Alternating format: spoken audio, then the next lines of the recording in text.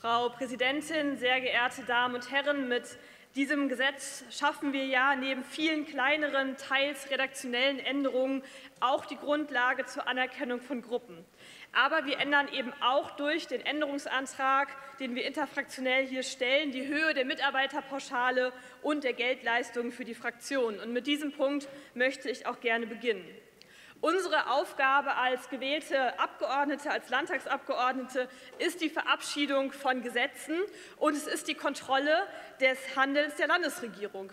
Genau so ist die Aufgabenbeschreibung von uns Abgeordneten in der nordrhein-westfälischen Landesverfassung.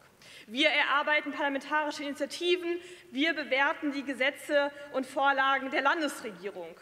Aber als gewählte Vertreterinnen und Vertreter der Menschen in Nordrhein-Westfalen diskutieren und erläutern wir unsere Entscheidungen, die wir hier im Landtag treffen, eben auch mit den Menschen in den Wahlkreisen und vor Ort. Und von dort nehmen wir eben auch die Anliegen und die Sorgen und ähm, die Themen der Bürgerinnen und Bürger auf, um mögliche Lösungen zu finden. Und es gibt zu Recht eine Erwartungshaltung eben auch vor Ort gegen uns, gegenüber uns Abgeordneten, die wir zu erfüllen haben und die wir erfüllen wollen. Aber wir alle wissen auch, dass genau diese Aufgaben niemals alleine zu stemmen wäre. Ohne unsere Mitarbeiterinnen und Mitarbeiter könnten wir diese Aufgaben so nicht erledigen. Und ich denke, dass wir zu Recht einen Anspruch an unsere eigene Arbeit hier stellen im Landtag, dass wir fachlich gut und qualifiziert hier arbeiten, hier im Plenum, aber vor allen Dingen auch in den Ausschüssen und dass wir daneben eben auch vor Ort äh, in den Wahlkreisen präsent sein wollen. Und ich glaube, dass die allermeisten von uns genau diesen Anspruch haben und diesen Anspruch erfüllen wollen. Und wenn wir diesen Anspruch haben und auch in Zukunft diesem Anspruch gerecht werden wollen, dann brauchen wir auch die entsprechende Ausstattung und die entsprechende Zuarbeit von Mitarbeiterinnen und Mitarbeitern.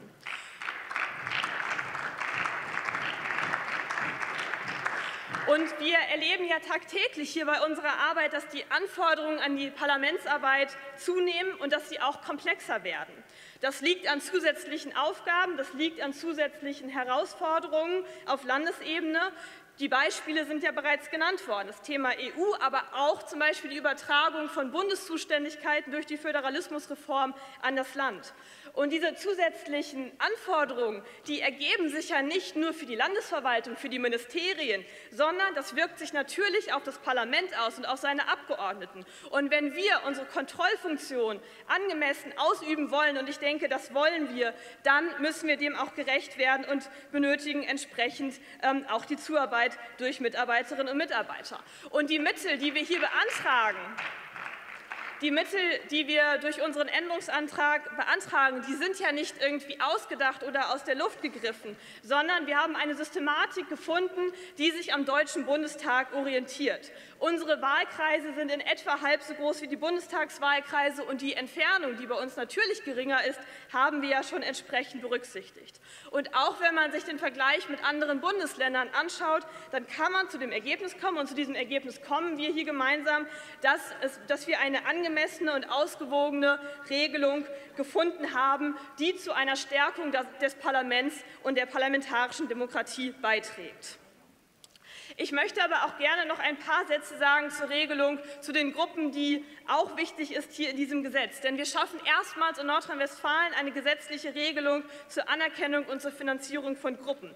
Voraussetzung für eine Gruppe ist, dass die Mitgliederanzahl so hoch ist, dass sie Anspruch auf einen Sitz in einem Ausschuss hat. Das ist derzeit bei fünf Abgeordneten in einem 27er-Ausschuss ähm, der Fall. Und in der Anhörung ist ja noch mal sehr deutlich geworden, dass der Präsident bei der Entscheidung über die Anerkennung einer Gruppe keinen Ermessensspielraum hat. Das Wort können in diesem Absatz stellt keinen Ermessensspielraum dar, sondern drückt lediglich aus, dass der Präsident eine Zuständigkeitskompetenz übertragen bekommt. Und insofern ist auch der Änderungsantrag der AfD an dieser Stelle schlicht überflüssig.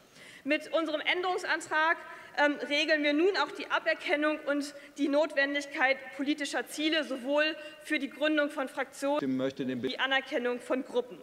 Ich finde, dass wir insgesamt mit diesem Gesetzentwurf und auch mit dem Änderungsantrag eine ausgewogene, eine angemessene und auch eine verhältnismäßige Regelung geschaffen haben. Herzlichen Dank.